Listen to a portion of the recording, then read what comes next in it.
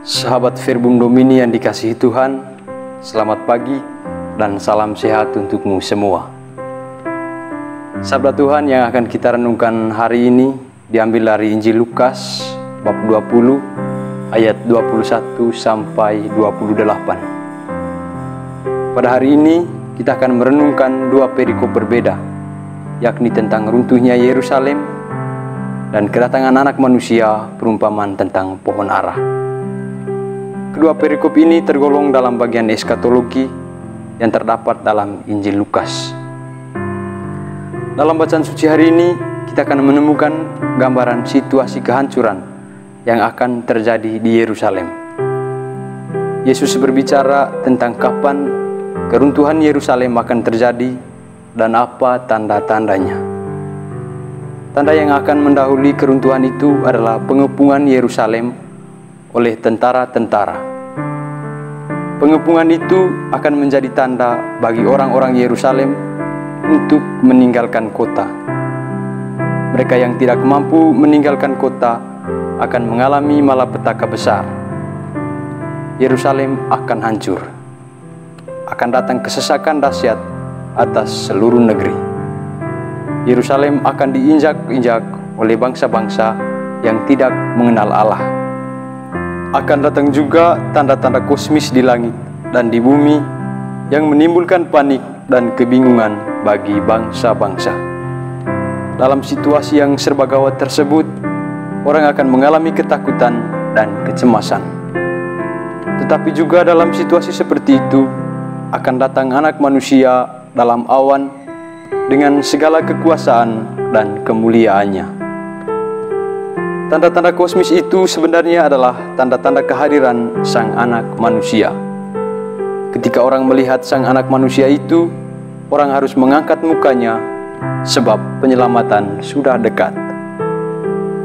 Sahabat Verbum Domini yang terkasih, Sabda Tuhan hari ini merupakan alarm bagi kita untuk berjaga-jaga. Kita sebagai orang beriman diajak untuk memberi ruang dalam kehidupan kita supaya Tuhan boleh berkuasa atas diri kita dan memimpin langkah kita. Hal itu merupakan bagian dari penyerahan diri serta bentuk kesiapsiaan akan kedatangan Tuhan di akhir zaman. Adapun pertanyaan yang muncul ketika berhadapan dengan realitas iman pada zaman ini adalah sejauh mana orang peduli akan kedatangan Tuhan? Apakah orang masih memberi ruang dan memberi perhatian akan kesiapannya menghadapi akhir zaman?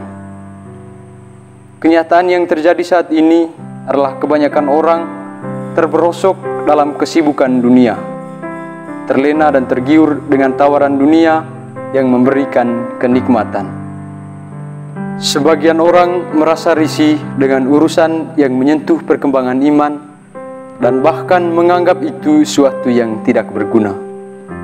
Dalam situasi seperti ini, masihkah orang memberi ruang untuk bersiaga akan kedatangan Allah?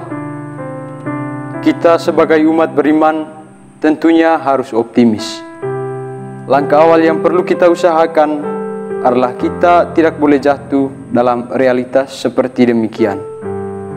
Sebagai orang beriman, kita bertanggung jawab untuk memberikan kesaksian iman melalui tindakan dan perkataan kita sehari-hari. Dengan demikian, orang akan terinspirasi dan merasa perlu untuk selalu berjaga-jaga sebagai bentuk penghayatan iman. Sahabat Verbum Domini yang dikasihi Tuhan, sebagai orang beriman, kita perlu merasa rindu akan persekutuan yang mesra dengan Allah. Kerinduan yang dalam akan persekutuan dengan Allah memberikan kekuatan kepada kita untuk tidak jemu-jemu memuji dan memuliakannya dalam setiap peristiwa hidup yang kita alami.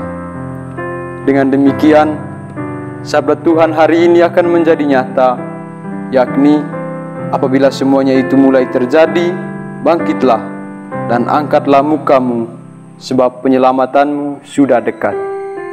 Semoga Tuhan menyertai kita semua. Amin.